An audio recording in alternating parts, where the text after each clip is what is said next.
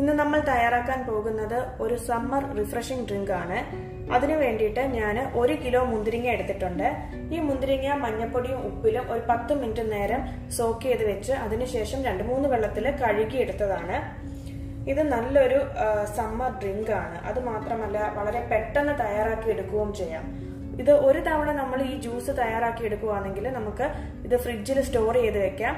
നമുക്ക് ആവശ്യാനുസരണം മാത്രം ശകലം എടുത്ത് യൂസ് ചെയ്യാവുന്നതാണ്. അതുപോലെ ഈ ഗ്രേപ്പ് ജ്യൂസ് നമുക്ക് വെള്ളത്തിലും മിക്സ് ചെയ്യാം സോഡയിലും മിക്സ് ചെയ്യാം.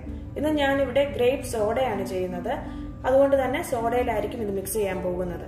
അപ്പോൾ ആദ്യമേ നമുക്ക് ഈ മുന്തിരിങ്ങ ഒന്ന് ബോയിൽ ചെയ്തെടുക്കണം. ഒരു പതിനഞ്ച് മുതൽ ഇരുപത് മിനിറ്റ് വരെ നമുക്ക് ഈ മുന്തിരിങ്ങ ബോയിൽ ചെയ്തെടുക്കണം. അതിന് വേണ്ടിയിട്ട് ഞാനൊരു സോസ് പാനിൽ ഈ മുന്തിരിങ്ങ ഇട്ടിട്ടുണ്ട്.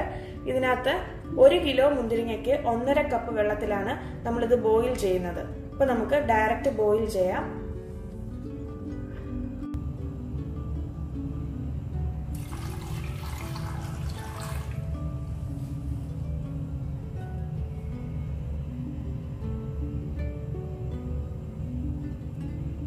ഇപ്പോൾ ഒരു പതിനഞ്ച് മിനിറ്റ് കഴിഞ്ഞിട്ടുണ്ട്.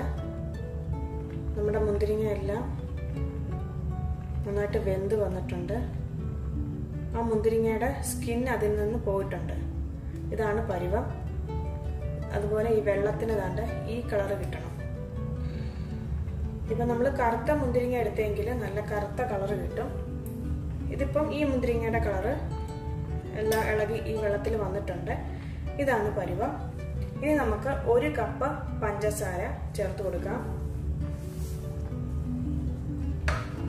അതിനുശേഷം രണ്ട് ടേബിൾ സ്പൂൺ നാരങ്ങ നീര് നന്നായിട്ടൊന്ന് മിക്സ് ചെയ്യാം.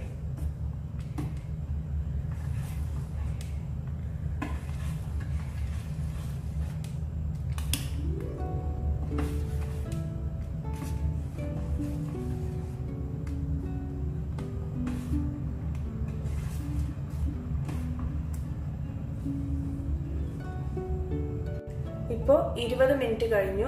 നമ്മുടെ മുന്തിരിങ്ങ എല്ലാം സ്കിന്നൊക്കെ മാറി സ്പ്ലിറ്റായി വന്നിട്ടുണ്ട്. നന്നായിട്ട് വെന്തിട്ടുണ്ട്. ഇനി ഇതിന്റെ ചൂടെല്ലാം മാറി നന്നായിട്ട് തണുത്തതിന് ശേഷം നമുക്ക് ജ്യൂസറിലോ അല്ലെങ്കിൽ മിക്സിയിലിട്ടോ നന്നായിട്ടൊന്ന് അടിച്ചെടുക്കാം. അതിനുശേഷം അരിച്ചെടുക്കണം.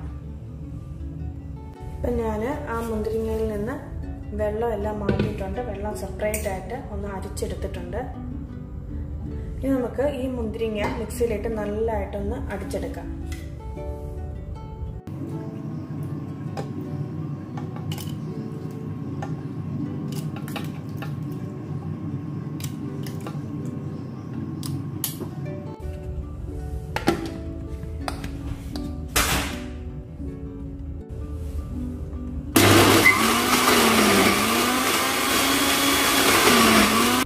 ഇപ്പം നമ്മളുടെ മുന്തിരിങ്ങയുടെ ജ്യൂസ് ഇവിടെ റെഡി ആയിട്ടുണ്ട്. ഇനി ഇത് നമുക്ക് ഒരു എയർ ടൈറ്റ് കണ്ടെയ്നറിലേക്ക് ഒഴിച്ചു വെക്കാം. പിന്നീട് ഫ്രിഡ്ജിൽ തന്നെ വെക്കാം. ആവശ്യാനുസരണം കുറേശ്ശെ എടുത്ത് ഉപയോഗിക്കാവുന്നതാണ്. ഉപയോഗിക്കുമ്പോൾ ഒന്നെങ്കിൽ വെള്ളം ചേർത്തോ അല്ലെങ്കിൽ സോഡ ചേർത്തോ ഉപയോഗിക്കാം. അപ്പോൾ ഇത് നമുക്കൊന്ന് എയർ ടൈറ്റ് കണ്ടെയ്നറിലോട്ട് അടച്ചു വെക്കാം.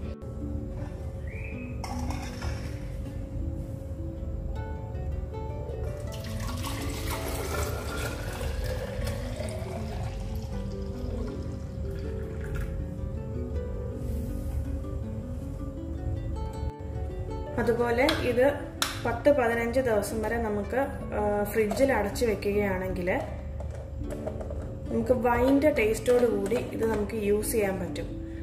നമുക്ക് കുറച്ച് ഐസ് ഇട്ട് കൊടുക്കാം.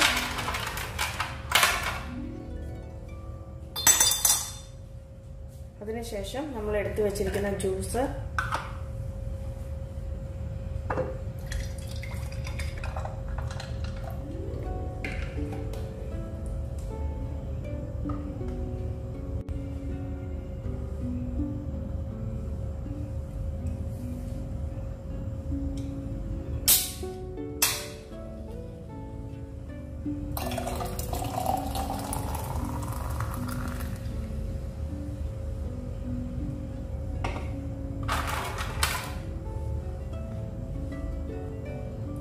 ഇത്രയേ ഉള്ളൂ. നമ്മളുടെ അടിപൊളി ഗ്രേപ്പ് സോഡ ഇവിടെ റെഡി ആയിട്ടുണ്ട്.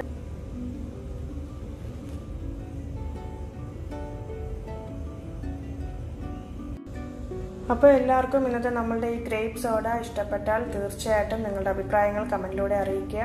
ഇതുവരെയും സബ്സ്ക്രൈബ് ചെയ്തിട്ടില്ലെങ്കിൽ സബ്സ്ക്രൈബ് ചെയ്യുക. ഇതുപോലെ പുതിയ പുതിയ റെസിപ്പീസായി വീണ്ടും കാണാം. താങ്ക്